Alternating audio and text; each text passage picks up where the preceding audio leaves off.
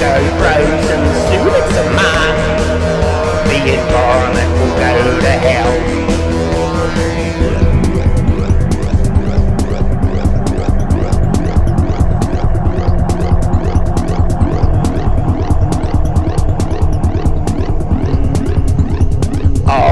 so impressive on the the police come to take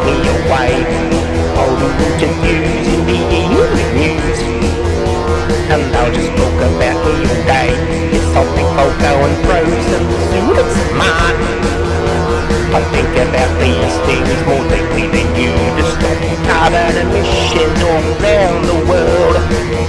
It's the only logical thing today.